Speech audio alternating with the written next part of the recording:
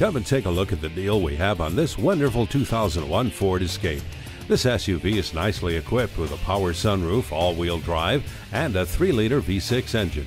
This cute vehicle needs a good home. It's very well mannered and rarely requires feeding. Reviewers said it offers comfortable seating for four and plenty of space for other stuff. Come in and take it for a test drive.